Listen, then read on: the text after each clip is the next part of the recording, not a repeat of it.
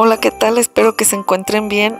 Hoy les traigo un video donde les voy a mostrar paso a paso cómo transformar estos pinitos de Navidad.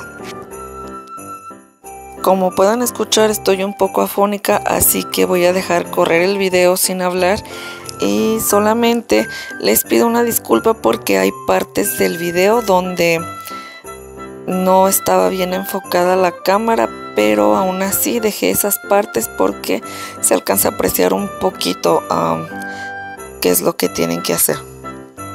Así que dejo correr el video, si les gusta denle like, suscríbanse y compartan.